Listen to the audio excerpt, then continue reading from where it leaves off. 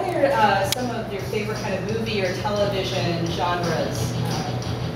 Murder You know. mystery. Murder mystery is a good one. We might use a few. of these. Sci-fi. Uh, sci-fi murder mystery. Anyone into what's over here? Action.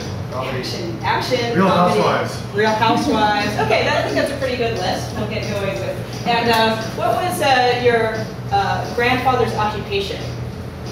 Old driller. Lawyer. I heard lawyer. Cranky. So let's start with uh, murder mystery.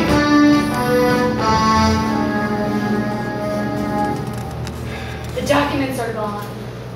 Well, that's a mystery. That's why I came to you. Mr. Reynolds, I heard you were the best lawyer around.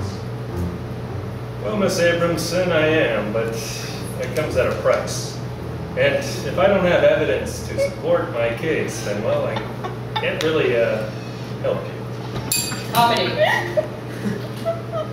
Whoops!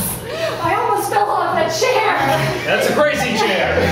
This is my crazy chair. Yeah, no, Oh. sorry. That was just a joke. That was ha-ha funny. Sorry.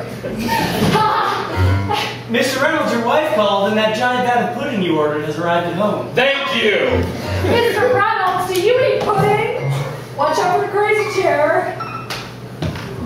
Topsy-turvy, this office. I don't know what to do. I, I hire interns, they act like clowns, and next thing I know, my files are covered in paint. Sci-fi.